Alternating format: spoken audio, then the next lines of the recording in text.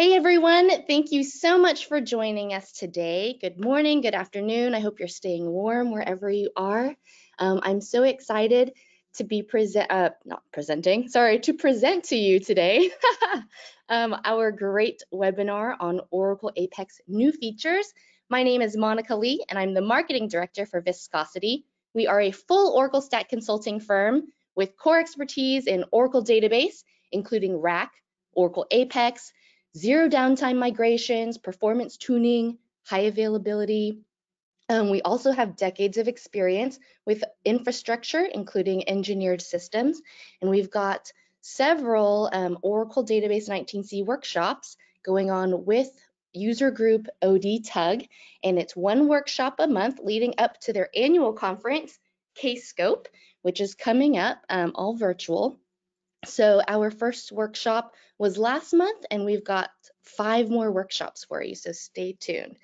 Um, during today's presentation, feel free to submit questions to our presenter, Marc, in the questions or chat, chat prompt that you should see in the lower right side of GoToWebinar. Um, he'll get to them as soon as he can following his presentation, so no worries, but definitely put your questions in as they come up to you. And um, today we've got Coleman from NYOUG. He's going to present a little bit about NYOUG to you. If you've not um, gotten familiar with them, visit them at nyoug.org. And I'm going to hand it over to you, Coleman. Thank you, Monica, for the kind introduction. Greetings, everybody. Welcome to our series of webinars with um, co-hosting with uh, Viscosity and NYOUG. Uh, just a little bit about NYOUG. It was formed in 1984 for the exchange of ideas, assistance, and support among Oracle software products.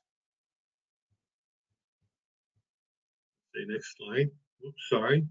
Uh, that's not good. and you can connect with us on Twitter, Meetup, LinkedIn, Facebook, and of course our website, nyoug.org and reach out to our members at the Oracle Community Board at Community User Groups uh, user groups. And thank you, Viscosity, uh, for uh, co-hosting these series of webinars with us. And I just want to introduce Marc Sewtz. He's a Director of Software Development for Oracle Application Express and Oracle's Database Tools Division. He's responsible for managing the development and delivery of Apex, Oracle's premier low-code development platform. Marc has been at Oracle since 1998. After working for Oracle Consulting in Germany and the US for a number of years, he joined Apex development team in 2002. Marc lives in New York City with his family and holds a master's degree in computer science from the University of Applied Sciences in Wedel, Germany.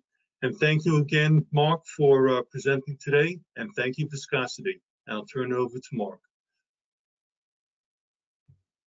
All right, uh, thank you, Coleman, and thank you, Monica sharing my screen one second. Yeah, I hope you can all see my screen now. Looks great.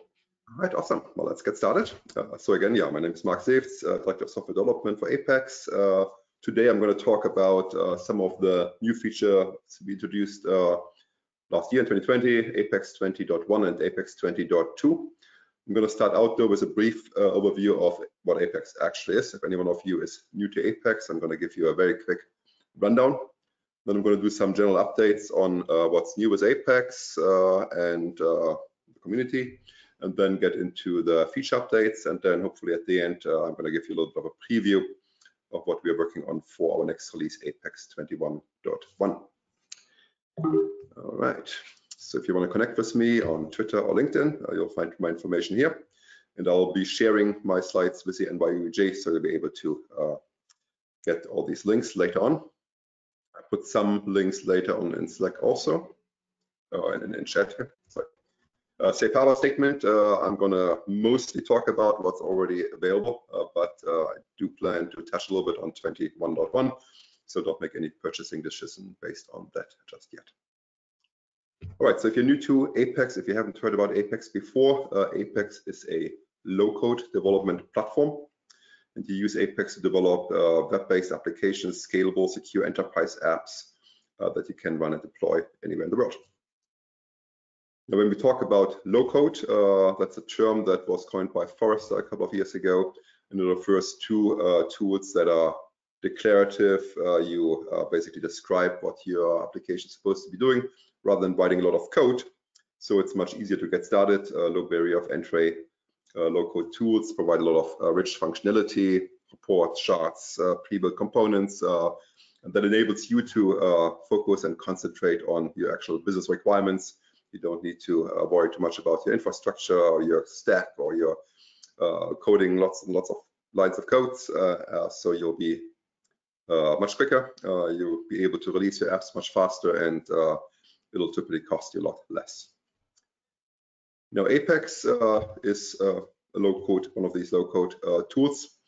customers use Apex to build and manage their applications typically on top of uh, Oracle apps, Oracle uh, databases, uh, or also reaching out more recently to REST APIs and external data sources.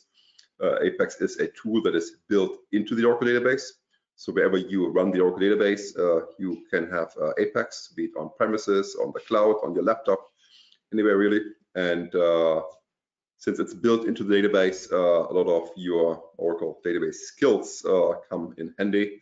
If you know SQL, if you know PL SQL, that's what they use to develop many of our reports and, and, and charts and, and uh, business logic. And of course, if you know some JavaScript, uh, you can also make use of that uh, for client-side extensions. Typical use cases for Apex, starting out with uh, very easy spreadsheet replacements. You have like all these numerous spreadsheets floating around in your corporations, uh, emailing them around is very effective. So with Apex, you can take these spreadsheets and uh, move them to the web. Uh, opportunistic applications, that's the kind of application that uh, everybody always needs, but no one ever gets to actually writing.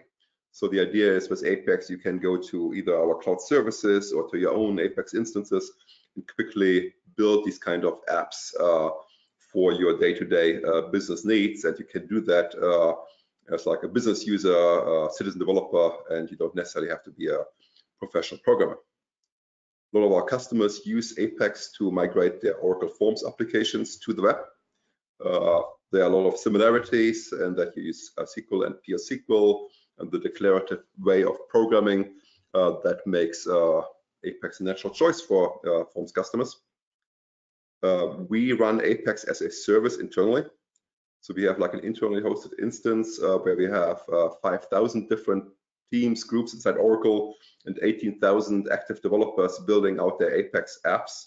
And uh, you can kind of follow the same model. You can roll it out in your own companies, or you can sign up for our cloud services and then uh, really use Apex uh, as a development service online rather than having it running on your machines.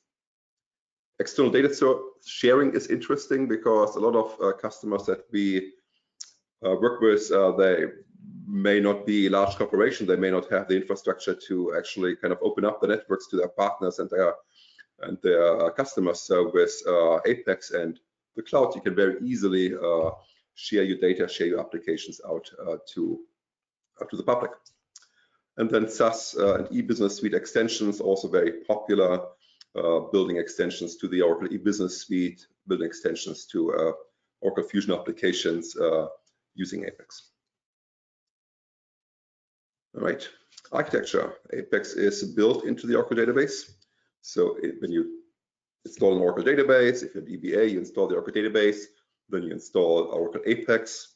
You'll find Oracle Apex as a schema inside uh, your database, with a lot of PL SQL and, and uh, SQL code inside, and a metadata data repository that holds your application definitions. Then there's Oracle REST Data Service in the middle here. And Oracle REST Data Service in this scenario only serves up uh, your JavaScript, your images, your style sheets, and kind of passes through your requests from your web browser to Apex and back. Unlike other uh, frameworks uh, that are typically very middle tier centric, that run a lot of logic in the middle tier, Apex is doing all of this inside the database. So uh, all the business logic, all the page rendering, all of this happens inside the database, very close to your data. So I guess one of the biggest advantages of this architecture is uh, you have zero latency between your uh, business logic and your underlying data. Apex has been around for a long time. Uh, I started out in 2002. We first released Apex in 2004. And around that time, we also launched apexoracle.com, or at that time it was htmldb.oracle.com. Uh, but that service has been around uh, for 15, 16 years now. And uh, I'm not going to go through all the milestones here, but uh, what I do want to highlight, applications that you built uh, 15, 16 years ago, or 10 years ago, or whenever, they still run on that instance, right? ApexOracle.com, we've upgraded it many, many times, but your applications, uh, you put them there uh, 10, 12, 15 years ago, they still run. And because they are metadata driven, uh, they are always kind of uh, generated on the fly, so you don't really have to go in and, and reprogram everything for a new version of Apex. You always have to make some adjustments, update your theme, uh, update some components, but by and large, the applications that you put there uh, are still running. And you can do the same in your own enterprises to uh, build applications and uh, then work with Apex to keep them running over many generations of Apex. Right, so if you want to get started with Apex, uh, there's a link up here, apexoracle.com. Getting started, I'll just put this here in uh, chat. Well, I guess I can't put it in chat, though I can. One second. There it is. That's not coming. I shouldn't. One more try. All right, doesn't come across. Copy. There you go. So I put the link in chat.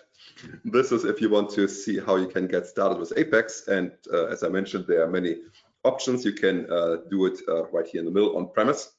You can install the free Oracle database on your laptops. You can install the full enterprise edition in your company, uh, you can stand up an Oracle Accelerator machine and you can run Apex there.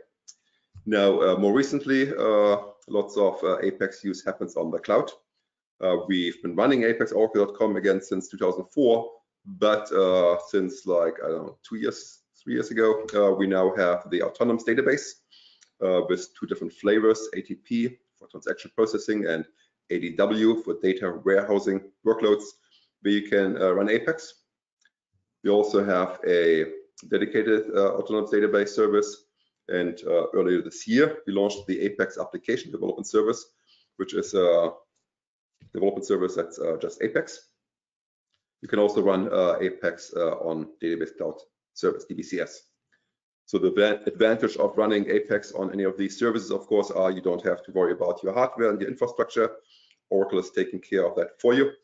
And if you're running it on autonomous, uh, we also take care of managing your service, uh, managing your underlying database and uh, configuring ports and, and, the middle tier and your firewall and everything uh, else for you. And there's a free tier. So when you sign up for autonomous database serverless, uh, you get like the first months, uh, you get like a certain cloud credit. But even beyond the first month, there are a number of services that are available to you for free. So you get like an Apex service, you get two compute services. Uh, uh, so a number of uh, services that are part of the free tier uh, that you can run uh, for free indefinitely as long as you use them. And of course, you can also run uh, Apex anywhere else where an Oracle database runs. So if you prefer a third-party cloud or your own hosting service, you can certainly set up Apex there as well, anywhere where you can run an Oracle database you can uh, configure and run Apex. All right, so if you want to learn more about Apex, uh, apexoracle.com, uh, you, we have getting started guides there, more information on the architecture, use cases, lots of success stories and tutorials and uh, videos.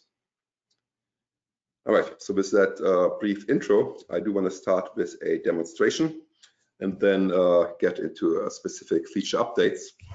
And uh, given that we are here in New York and by OUG, uh, I wanted to kind of start out with uh, New York City related data, 311 data. If you have any service issues, if your car is kind of snowed in or whatnot, you can call 311 and all your service requests are stored in the 3M database and they're available through uh, New York City's open data.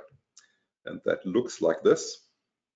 That's the website that talks about this API. And the reason I'm starting out with this, besides this being kind of a local example, is that Apex uh, is really good at uh, making it easy for you to build reports and charts and, and visualizations on uh, those kind of data sources.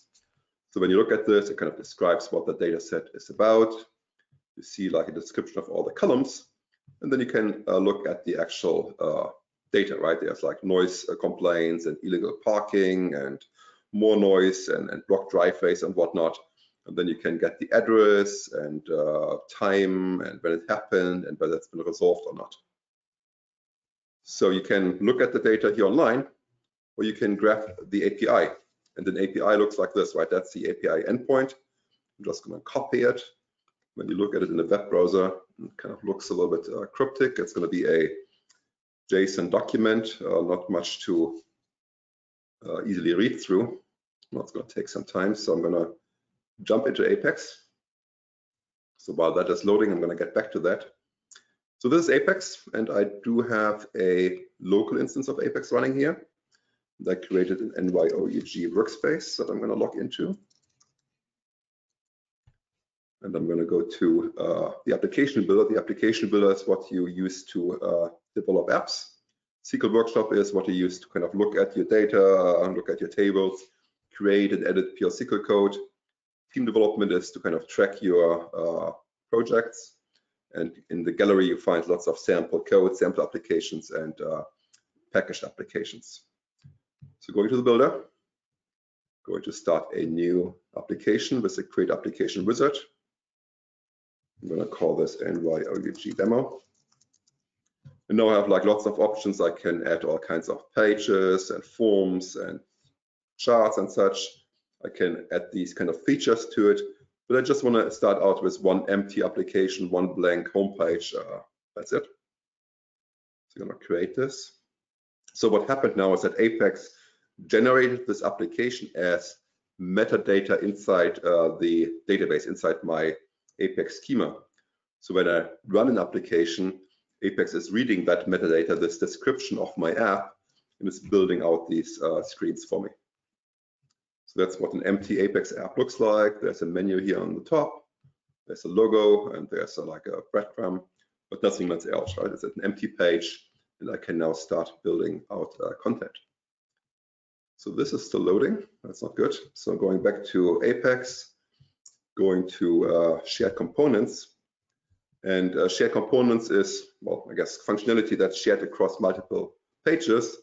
And what I'm interested in here right now is uh, data sources. Typically or historically, you would build Apex apps on local data, data stored in your database. But I want to kind of play with this uh, 301 data, which looks like this. No, still not there. And uh, so I need to create a REST data source as the source for this. Gonna hit create. Gonna out, start out from scratch. I'm gonna call this New York City 311. I'm just gonna put this endpoint in here. Gonna hit next.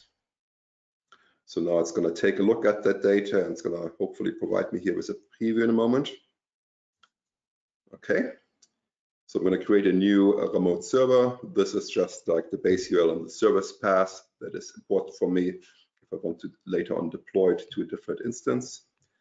I don't need authentication for this particular service because it's like all wide open.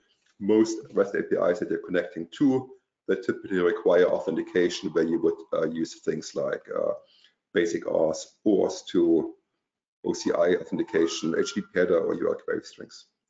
But again, I don't have authentication. So let's discover the data in here.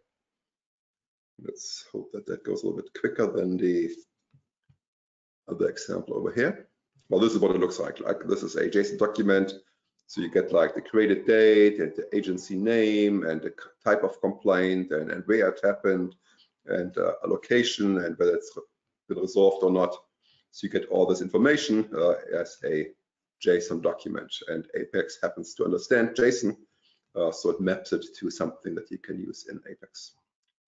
So it looks like. That looks nice. So I'm going to create this REST data source now. And now I have this. And by creating this new data source, it is now available to me to all my other wizards. So when I go to uh, back to the builder, and when I create a new page, let's do a report interactive report. I'm going to call this NYC 311. I'm going to add a breadcrumb to it. And then I'm going to add it to my navigation menu. And now on this page, you choose what your data source is for this report. It can be a local database, it can be a local table or SQL query. It could be REST-enabled SQL, that is something that you use to connect to other external Oracle or remote Oracle databases. Or it could be a REST data source, which is what I just created. So let's pick that. And then I don't really want to see all this uh, information, right? I do want to know what the agency is. I do want to know the status. The borough is certainly interesting. I want to see a descriptor of the incident, uh, the agency name. Uh, then let's take the street name and the created date and the complaint type. That's important. The location type maybe. All right, I think that should be enough. Let's create. And now I have an interactive report page. And when I run this, hopefully I see some data.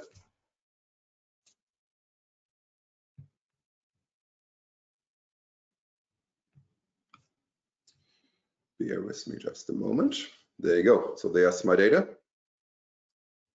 And uh, again, there's my agency, the status, the borough descriptor. So I can make some adjustments now. I can say move the borough to the beginning and then maybe the complaint type right next to it. Then the agency and agency name, status descriptor, street name, that's all good. Location type. All right, let's see how that looks like.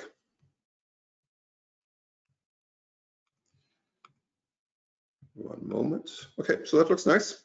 So now I can uh, start looking through the data. I can do some analysis. Uh, I can do some charts.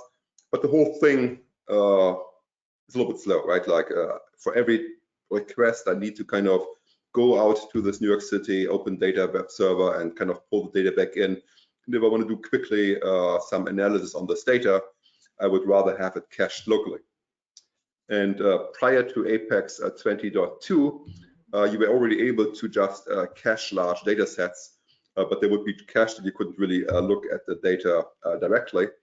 So what we've done in Apex 20.2 is we added a option to your REST data source, which allows you to map this REST API to a local table. So when you edit this REST data source, you can click on Manage Synchronization, and then you uh, define a new synchronization, and you give that table name, and write the 3 on 1 and then you save this.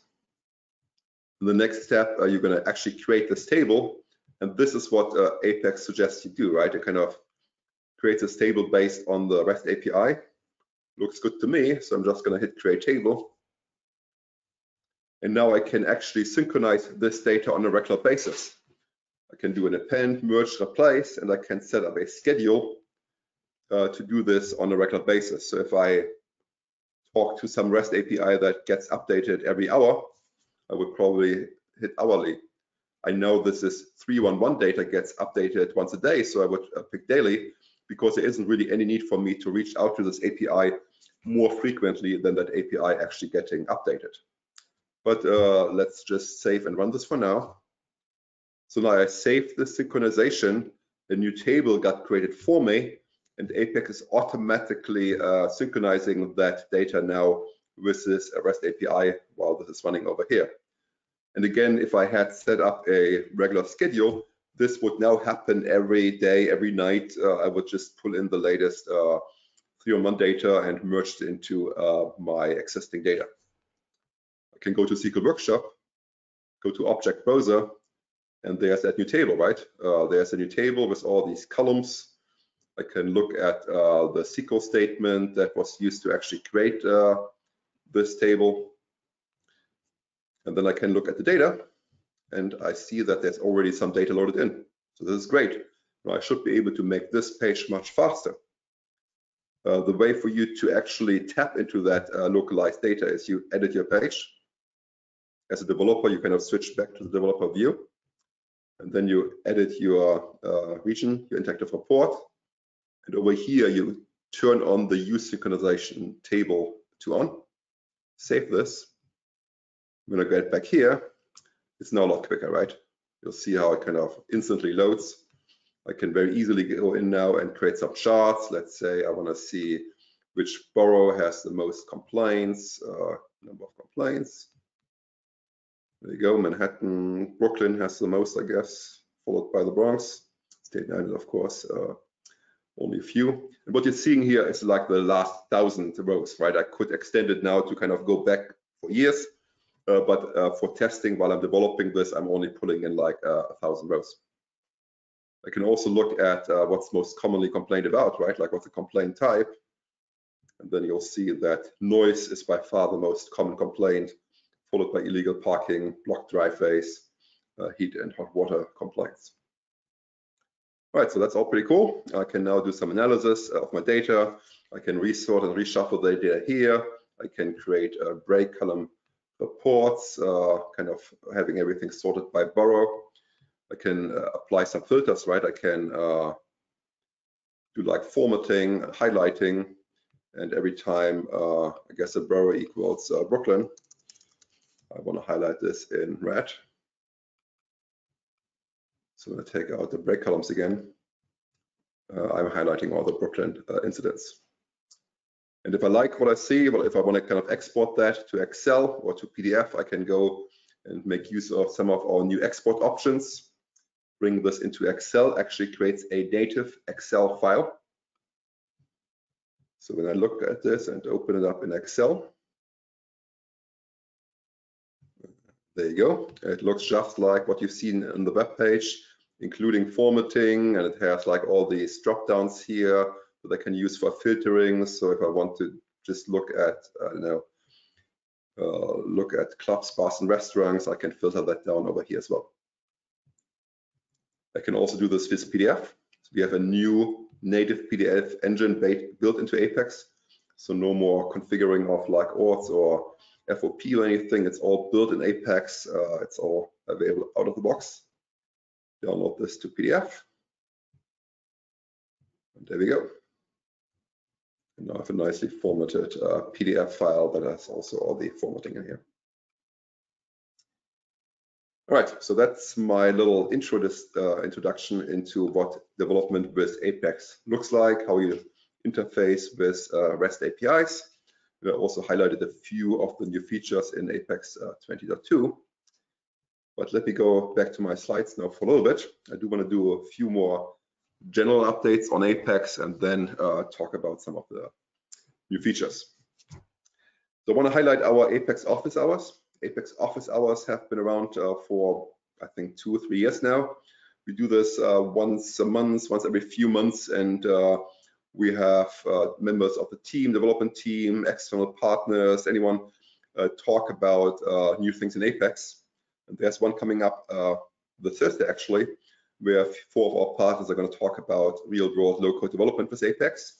So highly recommend, recommend it. You can just go to this link here and uh, it's free. You just uh, join when it's on. And uh, we also have like, oh, oops, that's not it. Sorry. Uh, we also have all the recordings of past uh, office hours. So apexoracle.com slash office hours gets you there as well. Going to put this into chat. And uh, there you can look at all these office hours and watch recordings of past office hours.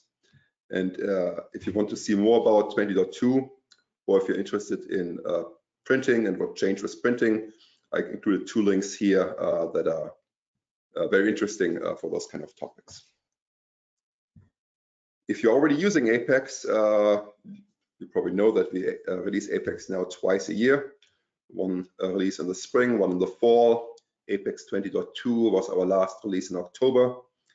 Uh, and uh, following a release of Apex, there are always going to be uh, some bugs found. So what we started doing are these patch set bundles.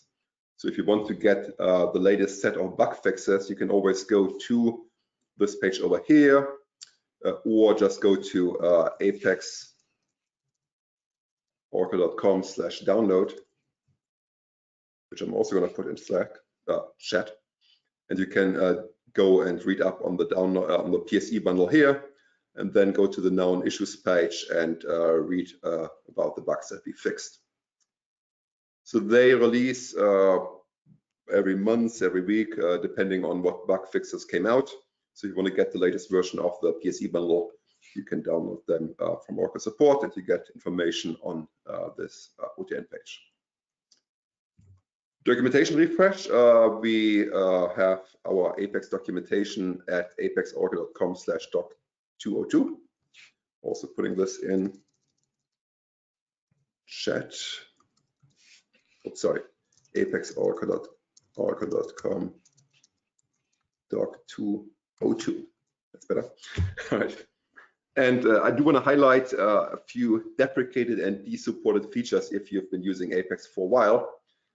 Uh, starting with Apex 21.1, we will no longer include the productivity and sample apps with Apex. We're actually moving them to GitHub.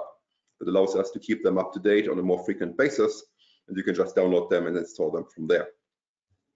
We are removing the old application migration workbench, which is a tool that we had years ago that uh, enabled you to track your forms migration projects, but uh, yeah, it's uh, didn't really generate apps for you. So it was really more project management applications. So uh, there wasn't that much value in it anymore. So we're removing that.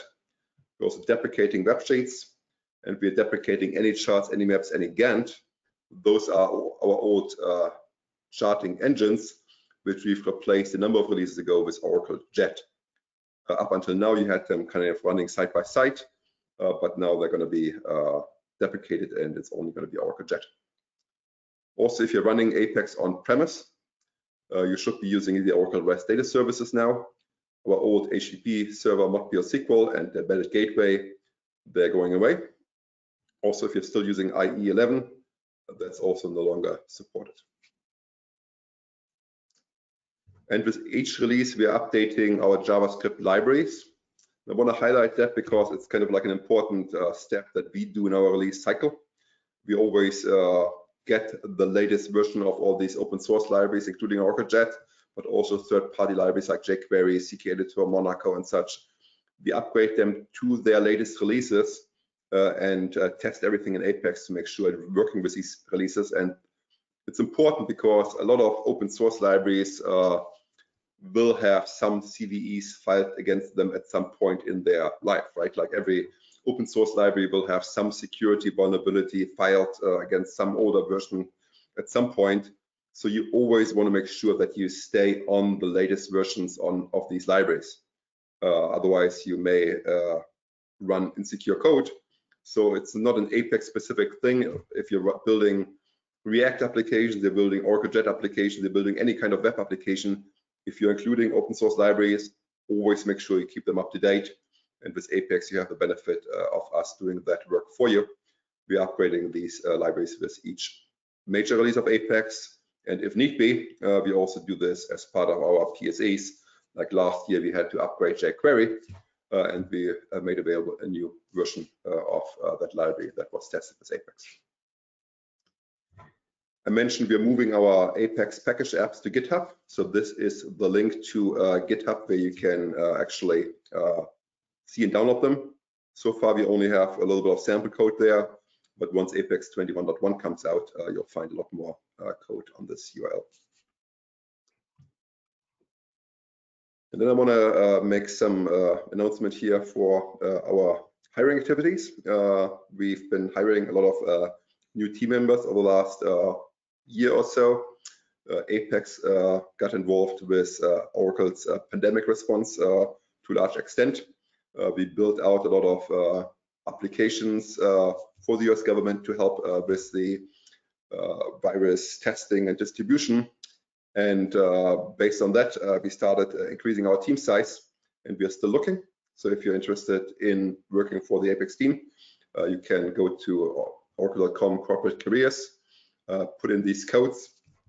Uh, we're looking for Apex product managers as well as JavaScript developers for Apex. So if you are interested in these, take a look at these uh, job requisitions and uh, also uh, email me if you're interested. I'm gonna try to put this into chat.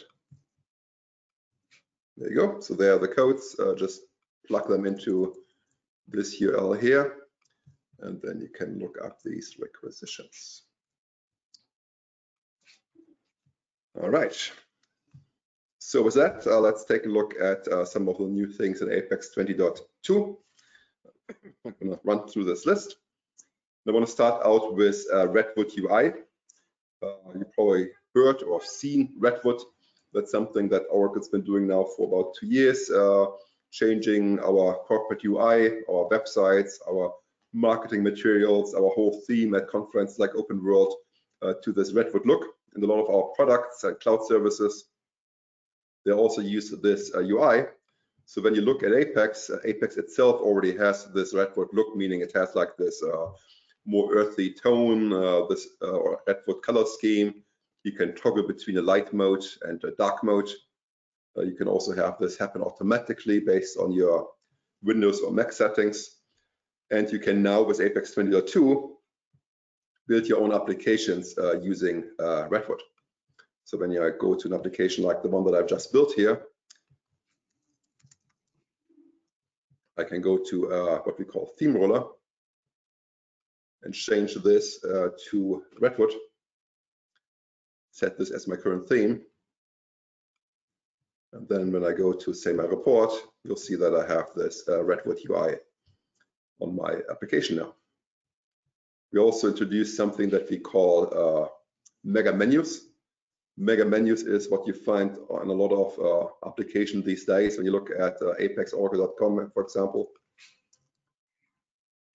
you click on these uh, lines here, you have this menu which hovers over your page. That's what's called a mega menu, and you can very easily build these now with uh, Apex as well. Now you've seen me uh, build this report on the uh, REST API. Now Apex up until Apex 5.1 a couple of years ago was primarily focused on data in your Oracle database we did have rudimentary support for SOAP-based web services and REST-based web services, but uh, it wasn't really, uh, I guess, a first-class citizen, if you will. Uh, but uh, starting with Apex 18.1, we made REST APIs as well as REST-enabled SQL data sources first-class citizens in uh, Apex. So once you define a REST source or a REST-enabled SQL data source, they are available to you in all your wizards. You can build reports and charts and forms and everything on these remote data sources, just like uh, what you would do on local tables. Now in Apex 20.2, we introduced this REST data source synchronization, which I uh, briefly shown you in the beginning, right? It allows you to actually define a local table automatically based on the REST API and then have that synchronized uh, with that uh, external API on a regular basis. Another new feature that we introduced in Apex uh, 20.2 is called what REST, uh, what's called REST Data Source Connector plugins. Uh, that is something that is useful if you want to talk to REST APIs that we that we in Apex don't know anything about, right? Like we know uh, ORDS, we know Oracle REST Data Service. We also knew uh, now, uh, I guess, uh, other like Fusion apps and such, right? For those APIs, we built in functionality in Apex that can talk to these APIs. We know how ORDS is doing uh, filtering. We know how ORDS is doing uh, pagination. We also know how Apex, how ORDS is expecting uh, put and get and delete operations to get back and forth in order to update data to build uh, CRUD-based applications. But we don't know enough about uh, other third-party APIs to have this close integration with Apex because any API can have like different rules, different syntax, different types of authentication, different way to kind of paginate through result sets. So this is where REST data source connector plugins come in. They allow you to build out your own PL SQL code that uh, sits in between uh, your API and your Apex application and is taking care of all these uh, pagination and, and filtering uh, calls for you. And if you want to try this out, when you go to this uh, GitHub repository that I talked about, you can actually uh, download an example that is showing you how to build these kind of plugins based on the movie database. So this kind of talks a little bit more about uh, how this actually works. Now, along with uh, REST uh, data sources, uh, we have different types of authentication. And we call these authentication types web credentials. So we kind of uh, separate your API definition, your REST data source, from the authentication portion, right? Like you want to kind of point to a REST API for kind of defining the data source and defining the columns and all the stuff. But you want to have the authentication piece uh, separate from that. Uh, so if you have uh, OAuth2 based authentication or OCI authentication, you don't want to store your credentials uh, inside the REST API because if you take an Apex application and deploy it from your dev instance to your production instance, you don't want to have uh, the API keys or the basic auth username password stored in your application. so you store this uh, information separately and then when you deploy your application, you can uh, supply this information again during deployment. And then some APIs like the movie database that I talked about, or if you're talking to like say Apex Office Print, they expect an API key rather than OAuth2 or basic authentication. So new in uh, Apex 20.2, you can now define an API key to uh, make this uh, call out. All right, I'm not gonna go into this whole demo.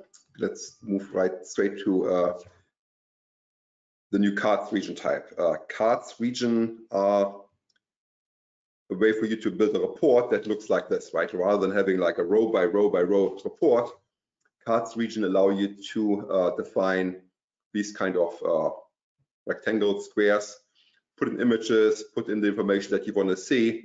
And the benefit is that uh, they are, I guess, easier to read, but they're also responsive. If you're building an Apex application, uh, you always build responsive apps that work on tablets and smartphones and desktop screens uh, in a responsive manner so they kind of rearrange the content uh, to fit a smaller screen. And uh, with these cards regions, you can actually have them float in a stacked way so that you can easily read them on like a smartphone. And we had cards region for some time, but they were always based uh, on uh, classic reports. So you had to use these card templates, which are kind of uh, cryptic. You had to have a very specific secret query. Uh, all the rendering happened on the server and it was pretty hard to customize. Now with 20.2, it's a native region type. You can just plug in a table or a REST API and uh, pick what uh, attributes you want to show. The rendering happens on the client, uh, so it loads much quicker. And you can do things like infinite scrolling, like you probably seen websites where you kind of keep scrolling to a page and rather than kind of reloading another page, another page, you actually just keep loading more content as you scroll through. So that's possible now as well. And you can very easily display uh, badges and media and graphics and videos inside your cards regions. All right, uh, faceted search. Uh, that's something that's uh, new and came with Apex 19, 192. And I do want to briefly show you what that actually is. So going back to my uh, example here,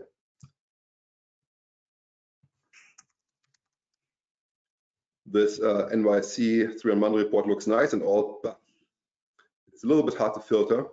So what I could do, go back to the application builder, create a new page. Let's call this a faceted uh, search.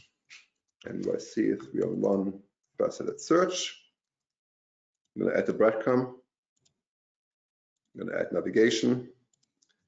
And now I'm going to point this faceted search to the local synchronization table that I built for my 311 data. And then I'm going to refresh this. And then facets is kind of like something that you see like on Amazon.com or like e-commerce websites or travel websites where you pick like categories or facets like the year, the department and such, right? So if I want to do something like this, I pick uh, what facets I want to use, like uh, let's say the status, the borough, uh, the agency name, uh, the see, where's my, I don't need this. I'm looking for the complaint type, facility type, close date, descriptor. Huh. Can't find my complaint type here right now. Oh, there it is. Cool. All right, let's create it like this. And now when I run this page, I get a different type of report. And this report actually lets me pick the borough. I only see, want to see what's in Brooklyn. I only want to see what's reported to the Department of Transportation. And I only see, well, see what's open. So as I'm making these choices, you'll see the results over here being reduced. And uh, the data that I actually see is kind of not what I want to see. So I'm actually gonna mark all of these columns as hidden. And then what I actually want to see is the agency status, borough, close date, agency name, street name, uh, incident address. Well, that should do it. Make this plain text. Oh, looks a little bit better. So now I see like 10 or 11 rows here, and as I'm making these changes, you'll see how the numbers here in the middle update, but also the numbers, the counts over here. And you can actually click on those little links and get visualizations. So if I clear this, you'll see like all the different departments. So if I look at the borough, you'll see how the Bronx and Brooklyn have by far the most open requests. If I take out the open, then change, things change a little bit. When I now go to like, I just want to see a blocked driveways, things changed quite a bit. In Manhattan, of course, not having all those many driveways uh, is at the very end here now. All right, so that's faceted search. And in Apex 20.2, we introduced, uh, well, 20.1, we introduced cascading LOVs, which kind of makes sense if you have like regions and countries, for example, where based on the selection here, like the continent, the list of countries should be updated. We also introduced these little accounts. And then in 20.2, we introduced the charts. And we also introduced uh, these kind of group check boxes that are uh, useful if you have like a lot of yes, no kind of columns. So that's faceted search. And then I touched on the report printing at the beginning, right? You've seen my export into Excel and into PDF. So with Apex 20.2, we introduced a new native PDF printing engine and a new native Excel export engine. So no more configuration of external engines for basic printing. You can still use BI Publisher, you can still use AOP, you can still use, well, we can now actually use the Oracle Analytics Cloud service. So you can still use external print services if you have like a need for pixel perfect printing with templates and everything. But for most uh, basic PDF exports and, and Excel exports, uh, we have native functionality now built in that actually supports all your formatting, colorizations, background colors, headers and footers, and also supports Asian languages like Chinese, Japanese, and Korean. And coming with Apex 21.1, we're also adding Hebrew and Arab and Farsi uh, as new font sets, as well as a right to left uh, document direction. Uh, you can uh, attach all your documents now to emails. So if you're sending emails from interactive reports, you can attach Excel and PDF and HTML in addition to CSV. And you can also include just the data. So if you don't want to have any formatting, if you just want to have a plain data dump, you can choose to uh, just get the data. All right, automations. Uh, that is interesting if you have a need for, I guess, database jobs, uh, if this, then that style uh, actions, right? Like for example, uh, you can set up a database job that queries a table or queries an external uh, REST API on a regular basis, once an hour, once a day, once a month, whatever. And if a certain condition is true, if you kind of get data back, then you can trigger some action. So let's say uh, you have uh, automation based on, on, on stocks, right? You can call out a REST API, and if your favorite stock or if your favorite Bitcoin, whatever kind of goes above a certain threshold, then you can trigger an event like, I don't know, selling all your Bitcoin or whatnot. So you can build out these kind of uh, automations now uh, inside uh, of Apex. We made a few changes to the developer experience. If you have uh, had used Apex before, you may have seen how like the region attributes are no longer here on the left. Uh, they are now as tab here on the right. We also have a new uh, code editor built in. So if you have a report uh, based on SQL or PL SQL, let's change this to SQL, then you can actually look at this in a new editor. And uh, we made a few other modifications to uh, the developer experience using this new editor, having new data file upload dialogues, and having a new embedded code utility that allows you to kind of extract out all the custom SQL and PL SQL and JavaScript code that you may have written in your application. All right, we also improved a few of our items. You have some new item types like this drag and drop file upload, a new checkbox for interactive grids, and uh, then some other miscellaneous changes. Uh, we have uh, lazy loading for our trees. We also have like this uh, multi-part form data REST request uh, support now for Apex API. That is important if you're talking to external REST APIs and you want to send uh, over files. Like uh, let's say you talk to your publisher, you want to send out uh, XML data and a template. This is where you need uh, this multi-part uh, form data format.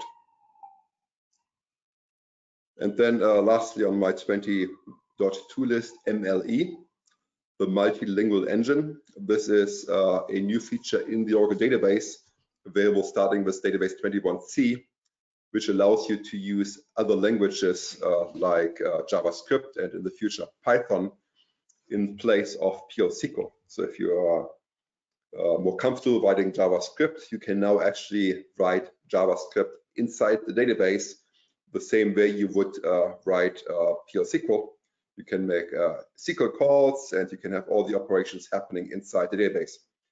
And with Apex uh, 20.2, we allow you to make use of that uh, for your page processes and dynamic actions and other places where you used to uh, execute uh, server-side PL SQL code. So it's easier to execute uh, SQL from JavaScript. it's directly in the database you're eliminating your expensive round trips uh, from the middle tier. Uh, JavaScript data types are automatically mapped to Oracle data types, so that uh, difficulty is kind of taken out for you. Uh, you can have all your code inside uh, the Oracle database. And uh, I guess if you want to use some third-party JavaScript libraries, regular expressions and such, you can install these libraries in the Oracle database and also make use of those. I included two links here uh, to two recent blog posts. So if that's a topic that is of interest to you, I'm going to put them into uh, chat. Then you can get to these links. Oops. Yep, there you go. And they talk about this in a lot more detail. So JavaScript inside the database and JavaScript uh, in Apex page processes and uh, inside SQL commands is now possible. All right, uh, that's it for 20.2. Uh, again, there's lots more to look at and, and see demos. Take a look at our Apex office hours that I mentioned in the beginning. Uh, watch some of these videos. Uh, I do want to give you a very brief preview of what's to come. Apex 21.1 is coming out later this year. And those are some of the features we are working on right now for this upcoming release. We're going to have a native uh, map region type we're going to have support for Hebrew and Arabic and, and Farsi. We're going to have a new uh, universal theme with dark mode.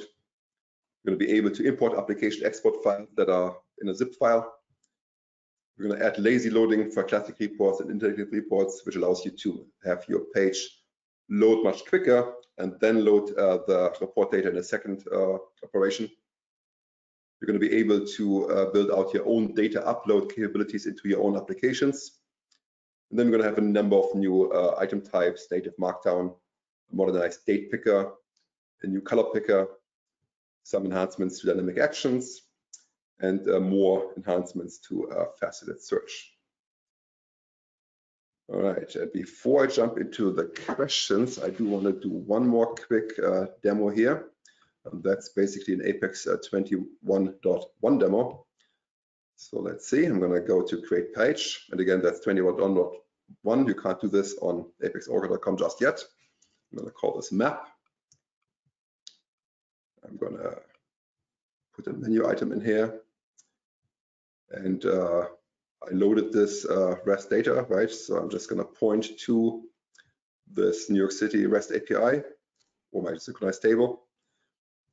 And then I'm gonna look at the columns here. That looks good. I'm hit next and I'm gonna have points. And my geometry column is actually two numeric columns. And my longitude, longitude is this one. My latitude is this one. I do have a tooltip, which should be my descriptor. And I do want to have faceted search. And I hit create now, I'm actually going to get a map of New York City, hopefully,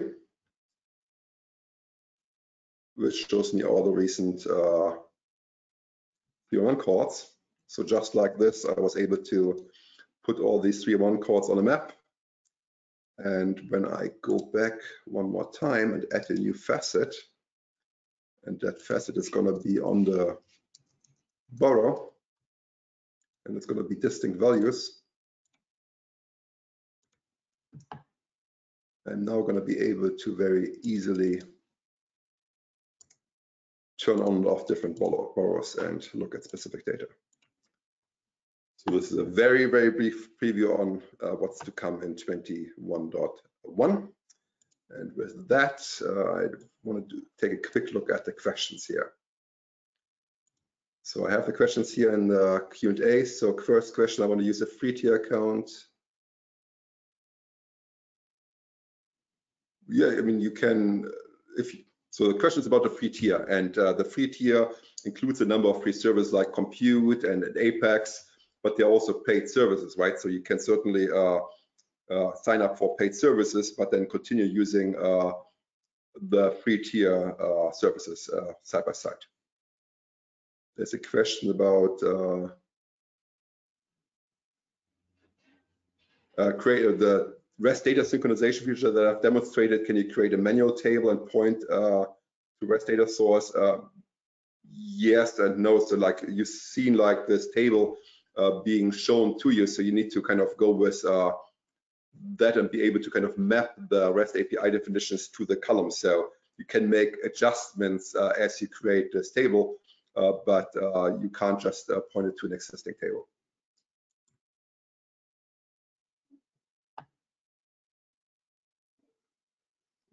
Question. Well, I think we're kind of out of time, so I'll go through these questions and I'm going to send my replies to the NYOUG. Maybe they can uh, share my replies uh, with you. Uh, just looking at some of the highlights. Yeah, the question about the PowerPoint. Yes, I've sent my PowerPoint to the NYOUG. They're going to distribute it to everyone who was on the call. Uh, certificate for using our REST API. I didn't have to. You can just uh, plug in that uh, that URL. All right, yeah. So I'll get uh, back with the other answers uh, to the NYUG. One more question about IE11. Uh, the version that no longer supports IE11 is Apex 21.2. All right. So with that, uh, thank you everyone, and I'll send the link and my answers to NYUG. Thank you so much, Marc. And everyone who submitted a question, um, I can get a copy of your question straight to Marc as well, so he doesn't miss anything. And we'll reach back out to you guys with as much info as we can. Um, I appreciate the partnership as always with NYOUG. I've sent you guys a link to register for more events and webinars like this. Um, you can also catch Marc again, I think in two weeks and he'll be presenting, um, I believe, Oracle Apex for beginners. Is that right? right. Beginner's yeah. Guide. Mm -hmm. It's in early March. I don't know the exact date, but yeah, it's Apex for beginners. Perfect. Um, so definitely check out more webinars to come with NYOUG and Viscosity. Thank you all again for attending. You will get a copy of the slides and today's webinar was recorded. So you'll also get a link to re-watch today's webinar if you want. All right. Thank you so much. Thank you, Marc, for your time and expertise. Sure, thank you. Take care.